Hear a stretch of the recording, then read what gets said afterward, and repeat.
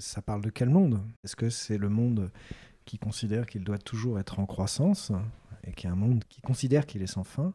Est-ce que c'est le monde en tant que tel qui sera sans fin? Il y aura une fin du monde à un moment ou à un autre, mais je pense qu'elle sera dans quelques millions, voire milliards d'années. Je ne crois pas à une fin de l'humanité euh, relativement proche, disons, comme le font les collapsologues. Par contre, on va souffrir. Auteur, Autrice, éditeur éditrice. ou encore illustratrice, illustrateur.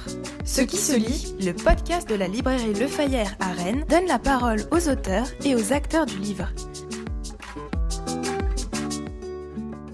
Bonjour et bienvenue dans Ce qui se lit, le podcast de la librairie Le Fayère à Rennes, réalisé par Arnaud Vasmer. Aujourd'hui, euh, autour d'une bande dessinée euh, d'actualité qui fait l'événement depuis sa parution, bien que son sujet puisse nous inquiéter euh, fortement. Le monde sans fin, c'est son titre. Et pour en parler, nous sommes en compagnie de l'un des auteurs, Christophe Blin. Bonjour. Bonjour.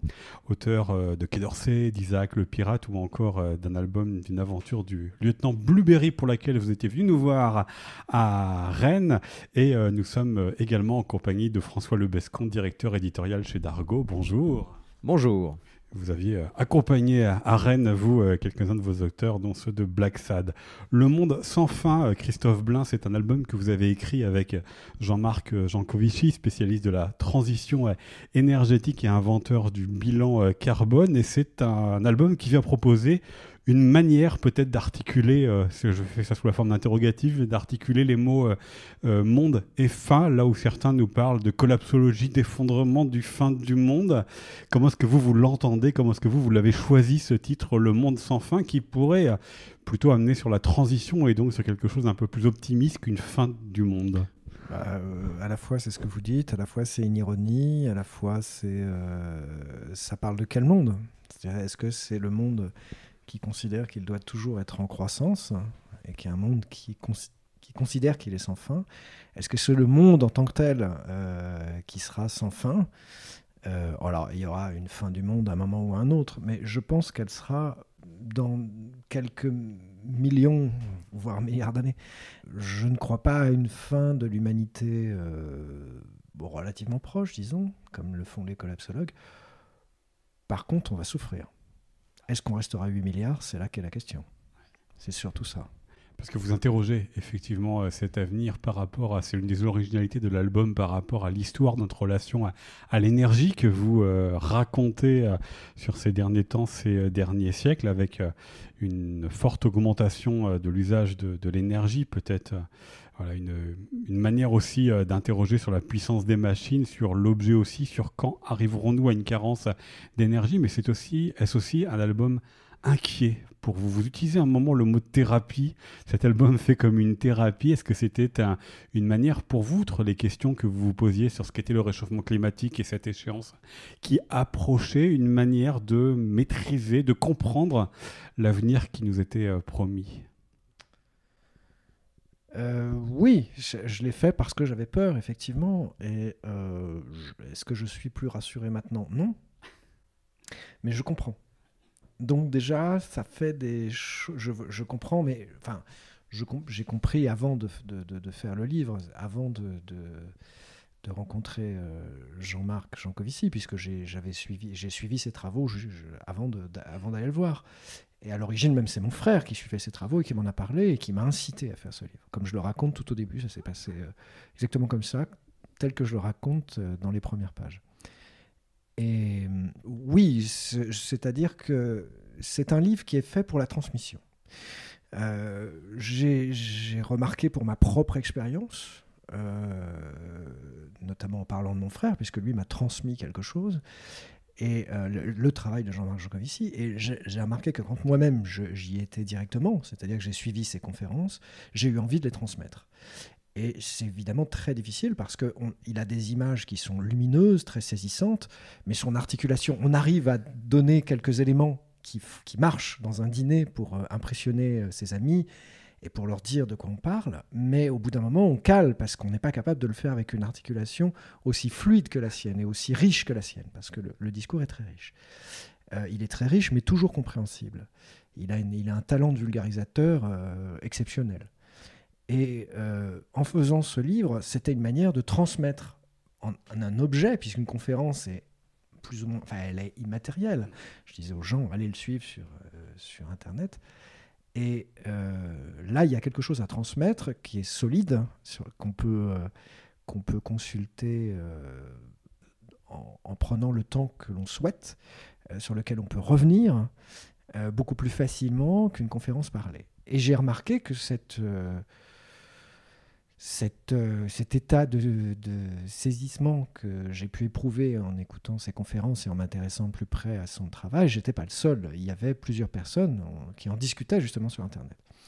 Et ce qui, ça a été un des gros moteurs, un des moteurs essentiels de ce livre, La transmission, et que euh, Jean-Marc, évidemment, comme j'avais un rapport personnel avec lui, j'ai été le voir et il a immédiatement accepté le projet.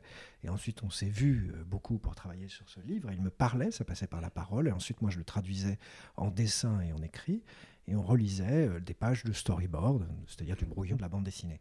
On reviendra sur effectivement la, matière bande dessinée parce que c'est pas simple de mettre en dessin des chiffres, des, euh, histoires euh, de cette manière-là. Mais vous disiez effectivement que on discutait les conférences et les interventions de Jean-Marc Jancovici. J'aimerais que vous exploriez un petit peu cette thématique-là et que vous nous disiez vous, Christophe Blain, pourquoi vous l'avez choisi lui plus qu'un autre et jusqu'où vous partagiez et partagez ce qu'il disait, notamment sur la sobriété énergétique, parce que lui est un promoteur euh, du nucléaire, là où d'autres ne le sont pas. Et c'est l'un des objets de. C'est une des parties de ces, travaux, mais une seule seulement, mais c'est une des parties qui fait justement débat, qui fait justement discussion. Elle fait plus vraiment débat maintenant en France. Euh, enfin, euh, de manière. On aurait fait le livre deux ans plus tôt, ça serait pas passé comme ça. Mais il y a eu un, changement et il fait débat encore dans beaucoup de pays parce qu'il y a une incompréhension fondamentale sur ce qu'est le nucléaire. C'est d'ailleurs la, la, question que s'est posée Jean-Marc. C'est qu'au départ, il avait une opinion assez flou sur ce que c'était, et il en avait peur, finalement, comme tout le monde, et il s'est dit, mais qu'est-ce que c'est? Qu'est-ce que c'est ce truc dont on parle? Et il s'est penché sur la question pendant plusieurs années, en comprenant exactement de quoi il en retournait, en le comparant à d'autres énergies, en comprenant sur euh, les deux accidents euh, emblématiques euh, voilà, et qui, ont lieu, c'est-à-dire Tchernobyl et Fukushima, et en les expliquant. Voilà. Et en comparant la dangerosité, euh, les avantages, les inconvénients, et en expliquant bien que de toute façon, euh, le nucléaire, puisque lui est, un partisan, euh, et moi aussi, puisque je suis sur la même ligne que lui, évidemment, n'est pas, pas la panacée. Évidemment, est-ce ah, que sinon j'aurais pas été voir Jean-Marc. Non mais ça, mais est-ce que c'est peut-être dans la discussion aussi que c'est affiné non. votre Non, non, je savais, bah, je savais, mais c'est pas ça. C'est que à partir du moment où j'ai été voir Enfin, je savais quel était le raisonnement, l'essence du raisonnement de, Jean-Marc. Après, le travail que j'ai fait avec lui, euh, où on a pu se rencontrer euh, physiquement, c'est-à-dire on a pu vraiment travailler ensemble, euh, je, savais exactement de quoi il en retournait, j'étais déjà convaincu. Si j'ai été le voir lui, c'est qu'en réalité, Jean-Marc, et j'ai fait des recherches là-dessus, euh, n'est pas d'abord quelqu'un qui travaille seul, c'est quelqu'un qui travaille en équipe, c'est quelqu'un qui a un travail extrêmement élaboré, qui est constamment en mouvement, euh, qui est constamment à réévaluer euh, toutes les données sur lesquelles il se base. C'est quelqu'un qui, travaille dans la société, c'est-à-dire qu'il travaille avec des entreprises, il a, des propositions concrètes, il est dans le concret, c'est quelqu'un de très pragmatique, et en même temps, il a une analyse globale, presque philosophique, de, de la, la, façon dont on fonctionne, hein, historique, et, etc.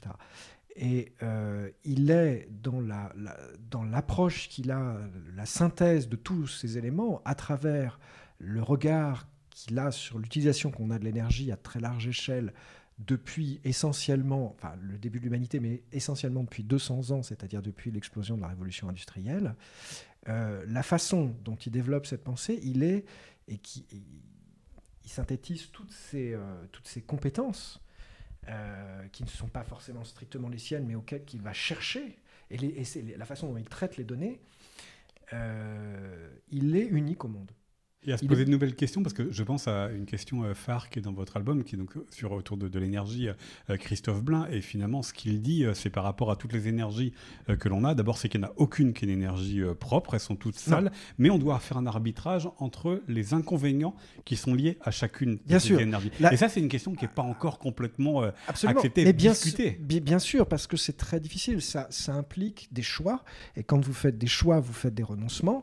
Et vous êtes obligé de. elles impliquent un certain nombre de souffrances. Nous sommes actuellement dans un processus de non-choix. Nous sommes dans un processus d'expansion euh, sans arrêt. Nous allons dans, un- dans une fuite en avant euh, et qui est extrêmement euh, difficile à arrêter. Et même si on crie, si on hurle en disant mais non, mais non, on va dans le mur, on va dans le mur, il faut bien comprendre ce que ça veut dire euh, de mettre le pied sur le frein et de choisir d'autres voies. Ça n'est pas, ce ne sont pas des voies faciles. Il n'y a pas de miracle, il n'y a pas de solution globale, rassurante et clé en main.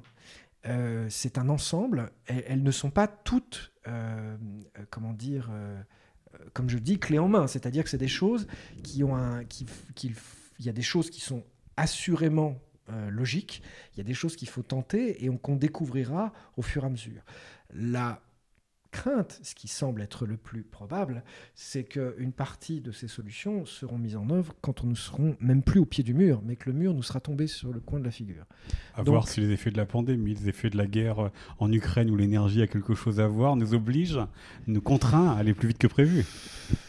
Oui, mais ça sera jamais suffisant. C'est-à-dire que le- l'esprit humain euh, fonctionne de telle façon qu'il a besoin euh, d'éprouver, euh, d'aller jusqu'au bout du bout pour pouvoir agir. Euh, la capacité d'anticipation euh, ne fonctionne qu'à partir du moment où on a eu l'expérience. Il y a quelque chose de cet ordre-là. Donc euh, il va falloir qu'on éprouve pour comprendre. Et euh, le regard sur ces choses-là n'est pas accordé partout dans le monde. Euh, ça pose aussi toute une série de problèmes qui sont extrêmement complexes de ce point de vue-là.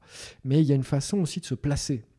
Il y a une façon de se placer dans le monde à l'échelle individuelle, à l'échelle collective. Et la première façon de se placer est de comprendre exactement l'échelle des enjeux. C'est-à-dire, euh, qu'est-ce que ça veut dire, à quel niveau, dans quel volume, qu'est-ce que signifie notre vie quotidienne?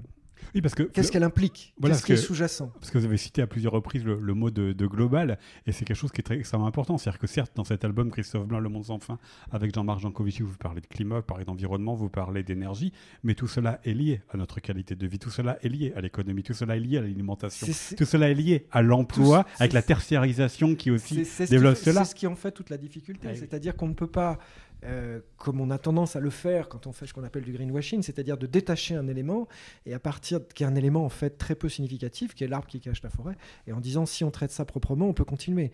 En fait, c'est pas vrai. Euh, c'est bien, mais ça peut être éventuellement un, début, une façon de penser, mais en fait, euh, l'échelle de ce qui devrait être en- entrepris est une réforme extrêmement lourde. Jean-Marc est- reste quelqu'un de relativement optimiste parce qu'il croit euh, en la patience. Alors, il y a une urgence, mais il croit en la patience et la pédagogie. Il sait que euh, plutôt que de viser un objectif euh, immédiat à très long terme et qui semble très éloigné de la réalité qu'on vit actuellement, il faut monter la première marche, puis la seconde, puis la troisième. Il croit dans- parce qu'il pense que, et je crois qu'il a raison, il pense que c'est comme ça qu'on arrive à installer les choses durablement. Et, euh, mais on est pris entre, euh, entre une urgence, et vraisemblablement on ne tiendra pas les deux- la, la- la- la- barrière des 2 degrés, le plafond des 2 degrés qui a été fixé, ne sera pas tenu. On ne sait pas ce qui On se va passe. préciser que nous enregistrons Christophe Blain cet entretien en mars 2022 et qu'on a appris il y a quelques jours que l'Arctique et l'Antarctique avaient connu des records de chaleur. Ce sont des signes. Oui, oui, oui, oui. Euh, oui, on est, on est déjà dans un. Déjà, le réchauffement, de toute façon, arrivera, quoi qu'on fasse. C'est-à-dire que même si on On, passait. on enchaîne les canicules là, d'été en été déjà. Non, mais de toute. Oui, et puis, euh, quoi qu'on fasse, euh, c'est un, c'est un phénomène avec inertie et, euh, et avec lequel il va falloir composer. Mais il y a des degrés au propre comme au figuré, c'est-à-dire que ça va déclencher des phénomènes qui vont être exponentiels. Donc, euh, et, euh, dans, dans leur intensité, dans, la, les ouragans de plus en plus Oui, et les, et les, les conséquences pour l'ensemble de l'humanité euh, vont arriver à des niveaux qui ne seront pas maîtrisables ça laisse réfléchir. C'est un peu inquiet. François Le Bescon, quand Christophe Blain est, venu vous trouver avec euh, cette idée d'un monde sans fin, le projet ressemblait à quoi? Est-ce que vous euh, partagiez euh, à la fois le, un mélange d'optimisme et de pessimisme que vient de nous livrer Christophe Blain bah, tout d'abord, ça ressemblait à une conversation au téléphone à trois, d'ailleurs, parce que Christophe nous avait appelé un soir en disant Je travaille sur le Blueberry, mais je voudrais vous parler d'un autre projet. Euh, il faut que je le fasse, euh, c'est important, et je vais vous expliquer de quoi il s'agit. Donc en fait, ça a été une discussion d'abord au téléphone comme ça, pendant à peu près une heure, où Christophe euh, nous racontait qui était Jean Covici, comment il avait été, il avait été amené à le, rencontrer, et son désir de se lancer là-dedans. Sachant que moi, dans un premier temps, c'est pas quelque chose qui, qui m'arrangeait dans le sens où il y avait un deuxième Blueberry qui devait arriver. Il arrivera, mais pas tout de suite. Mais et puis après, en discutant, on s'est effectivement moi, je me suis renseigné, je connaissais pas nécessairement euh, Jean Covici, ou de, en tout cas, j'avais vaguement entendu parler. Et, euh, et puis, euh, en me renseignant, en discutant, après, j'ai compris qu'effectivement, il y avait vraiment quelque chose d'important à faire. Vous voyez tout de suite, alors vous connaissiez le, talent de dessinateur et de mise en image de Christophe Bain, vous voyez tout de suite la, manière dont visuellement que cela pouvait produire, évidemment, parce que les histoires qu'il nous raconte, les chiffres qu'il nous le racontent, peuvent paraître très loin de la mise en image. Oui, en fait, c'est vrai que c'est un travail particulier parce que finalement, Le Monde sans fin, c'est une espèce d'essai. Un, essai euh, qui est, euh, entre guillemets, scénarisé, en tout cas raconté par quelqu'un qui n'est pas du tout scénarisé bande dessinée, qui ne sait pas, par définition, euh, écrire un scénario. Et ça voulait dire que Christophe devait, en fait, ingurgiter toute cette matière, échanger avec lui, puis ensuite la, rendre, la pétrir, et puis jusqu'au moment où ça devient, ça devient une bande dessinée. Donc c'était un travail un peu particulier, mais en même temps, euh, il faut l'avouer, euh, Christophe avait déjà eu cette expérience quelque part avec le, chef Alain Passard, parce qu'il avait fait un ouvrage en cuisine avec Alain Passard, qui était sur le même modèle, où il se mettait en scène, il était le béotien, et, euh, Passard lui racontait les choses de, la cuisine. Et, puis, d'une certaine façon, mais sur le mode fiction, il y avait eu aussi Quai d'Orsay. Et Quai d'Orsay, c'est un peu pareil, c'est l'association d'un spécialiste de, la politique, en tout cas un ancien conseiller d'un ministre, Quai d'Orsay, et qui n'avait aussi euh, également jamais écrit de, scénario et qui a rencontré Christophe et qui lui a expliqué. Et, euh, à chaque fois, je pense qu'il n'y a pas beaucoup d'auteurs qui sont capables, de ça. En général, ce sont quand même des auteurs qui ne sont pas que dessinateurs, qui sont scénaristes.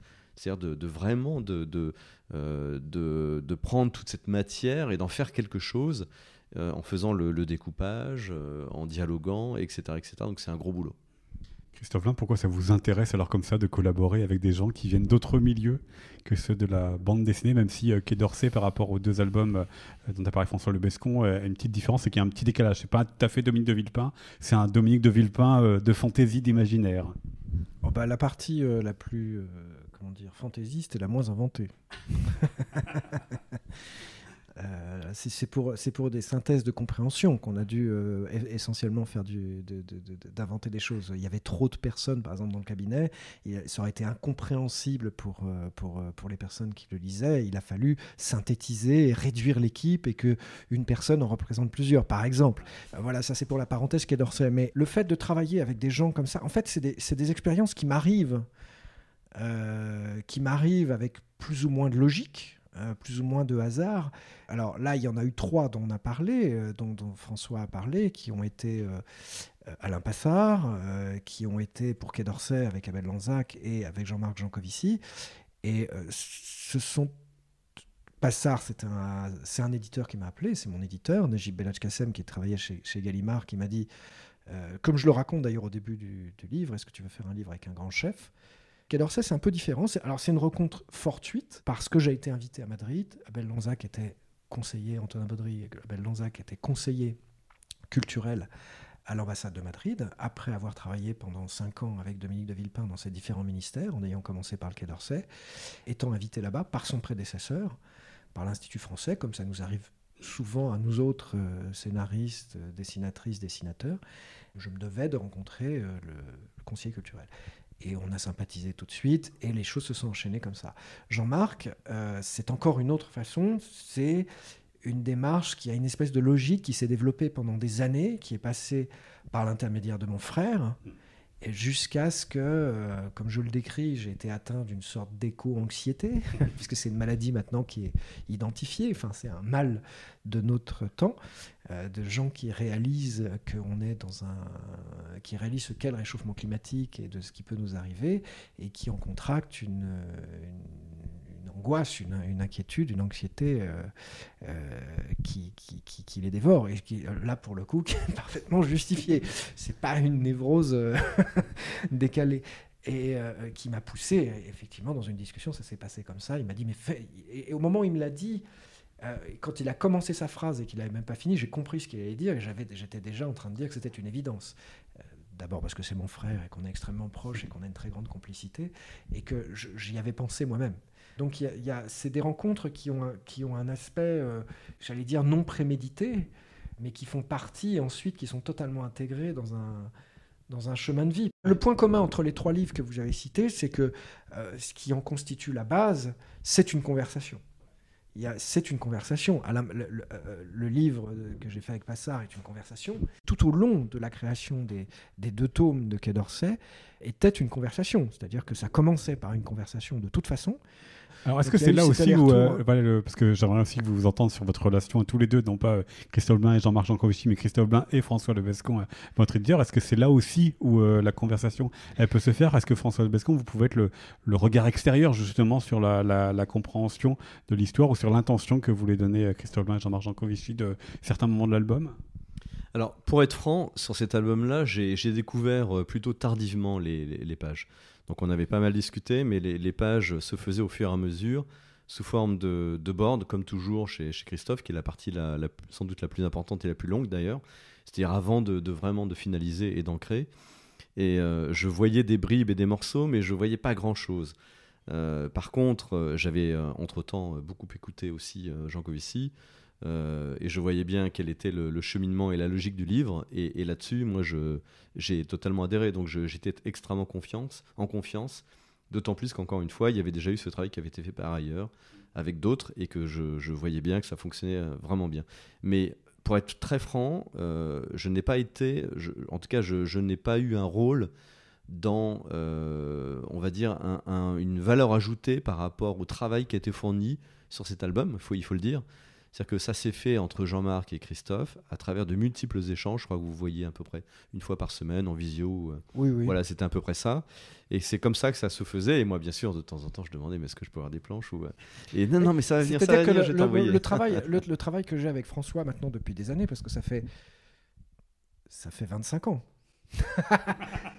Hein? La plupart, la, la, le, le, gros de mes albums, j'ai fait quelques infidélités à Dargo, mais le gros de mes albums, l'essentiel des albums et les albums les euh, oui, les plus, ceux qui ont le mieux, les plus connus, je les ai fait chez Dargo. J'ai fait l'essentiel de mes, publications chez Dargo en ce qui concerne la bande dessinée.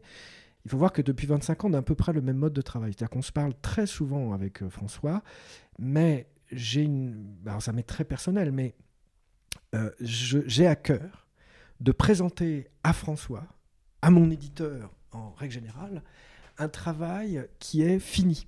C'est ma superstition personnelle, c'est-à-dire que euh, je fais assez peu participer François sur le work in progress parce que je considère que le travail que je dois lui présenter, alors évidemment, euh, il peut y avoir des choses qui, qui, qui, qui, à dire après, mais le travail que je lui présente doit être un travail fini, c'est-à-dire que euh, j'aurais le sentiment d'une relation incestueuse si je le faisais participer euh, dans la manière de m'y prendre. Par contre, nous avons des conversations euh, quasi constantes pendant la réalisation des bouquins, quand ils sortent après, etc., euh, sur tous les aspects techniques de l'édition et les aspects, les limites que je dois me fixer, les aspects techniques que je dois prendre en compte, comment ça se passe, comment construire le bouquin, comment il va se développer, parce que des fois, un livre peut être euh, cadré avant d'être fait. Pour dire un, exemple tout à fait euh, euh, simple, on va dire, bah, il va faire ce format, il va avoir cet aspect, il va mesurer tant de centimètres par tant de centimètres et il va contenir tant de pages. Voilà, ça c'est une, une limite. Et il y a des livres comme celui-là où c'est des choses qu'on est constamment en train de réévaluer. C'est-à-dire qu'on se rend compte, bah ouais, grosso modo, il va faire peut-être une centaine de pages, peut-être 120. Je suis en train de le faire, va peut-être plutôt en faire 150, et puis finalement 200 ou 192. Et puis plus grand, plus large. Voilà, voilà. et, alors on a eu beaucoup de problèmes techniques après sur la fabrication. On a connu des, des difficultés parce que c'était la pénurie du papier qui concernait toute l'édition. Bon voilà, ça c'est des choses sur lesquelles on est, on est on a beaucoup de conversations et pendant la, et sur le temps évidemment c'est un des éléments essentiels quand le bouquin sera fini parce qu'il y a toute une machinerie. Donc euh, en fait le, rapport technique que j'ai avec mon éditeur est permanent mais sur la création euh, pour ma pour mon, équilibre personnel et je procède j'ai procédé comme ça à peu près euh, toujours avec quelle que soit la maison d'édition avec laquelle j'ai travaillé c'est-à-dire que j'essaie je, le plus possible de montrer un travail qui est totalement fini. C'est-à-dire que, alors il faut savoir qu'avant, il a connu, il a été tamisé, tamisé, filtré, distillé euh, des dizaines de fois euh, par tout un tas d'autres personnes, euh, notamment les personnes immédiates avec lesquelles je travaille. Quand les pages sortent de mon atelier, on est face à quelque chose qui, selon mes critères à moi, doivent être totalement compréhensibles. Après, si c'est raté, c'est de ma faute, mais, euh, et je l'assume totalement, mais euh, quand j'arrive chez mon éditeur, j'estime que je dois être tiré à quatre épingles.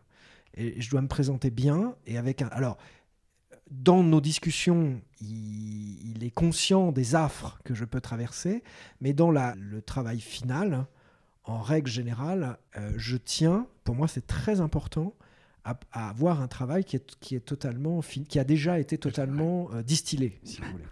François Lebescon, je voudrais terminer par, euh, par vous, justement, sur euh, le fait que Christophe Blain soit un, auteur qui soit impliqué dans la, construction de l'objet et la construction de, de la vie de l'objet par la suite. En quoi ça peut changer votre travail par rapport à un auteur qui, lui, ne s'implique pas dans cette dimension-là? Bah, en fait, c'est le scénario idéal. C'est-à-dire que quand on, échange sur, euh, sur un livre, c'est pas que le, contenu, c'est aussi le contenant. Et c'est tous les aspects qu'il y a autour. Donc c'est vrai qu'on parle beaucoup, de, bien sûr, de, contenu, mais on parle aussi beaucoup après de, tous les aspects un peu techniques ou euh, euh, la façon dont on va fabriquer le livre. Et, c'est vrai qu'en plus, sur cet album-là, on s'est pris de front cette crise du papier. Et on a dû gérer une situation qui est plutôt a priori confortable de celle d'un succès immédiat et en même temps avec euh, cette pénurie et on devait répondre à une demande qui grandissait, grandissait, grandissait et qui est toujours d'ailleurs euh, là. Donc euh, c'est vrai qu'on a, on a passé beaucoup de temps à, un peu se prendre la tête tous les deux et, euh, sur, euh, sur ces, questions-là, parce que parfois l'album est en rupture, parce qu'on devait trouver des solutions. donc en tout cas, moi j'apprécie beaucoup cet échange-là, parce que c'est un échange qui se limite pas à euh, tes pages sont bien et puis voilà. ça va bien au-delà. Et, et, je pense qu'en tout cas, ça nous nourrit tous les deux et c'est vraiment une très bonne chose c'est à découvrir dans Le Monde sans fin, un album dans lequel bah, notamment, vous avez convoqué euh, Iron Man, ou dans une même image, vous avez réuni euh, deux coins de la Bretagne avec une bigoudaine en coiffe et puis un, Astérix euh, irradié pour parler de cela. Le Monde sans fin, album paru chez Dargo, coécrit avec Jean-Marc Jancovici, Christophe Blain et François Lebescon. Merci beaucoup à tous les deux. Merci à vous. Merci. C'était Ce qui se lit, un podcast réalisé par Arnaud Vasmer pour la librairie Le Fayère à Rennes. Le podcast vous a plu? N'hésitez pas à vous abonner à partager et à nous suivre sur les réseaux sociaux.